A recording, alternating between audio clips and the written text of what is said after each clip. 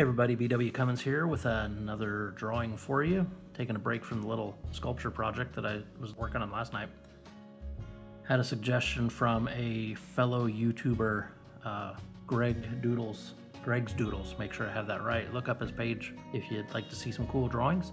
Uh, always appreciate someone who's out there drawing a lot. Anyway, um, he suggested a snail with a beat up covered wagon in place of its shell and that immediately uh, kind of painted a picture in my head earlier today when I read the comment. And so I was really looking forward to coming home and trying to draw that. And that's all I had plans for is the covered wagon and the snail. So everything else, all the mechanics of it had to kind of get worked out as I was drawing.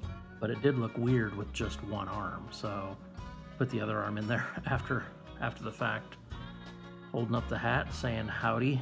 Then you've got a little ant uh, driving? Is that what you do with a wagon? Or riding, driving the wagon? Yeah, this is how um, insects got around in the Old West, I guess.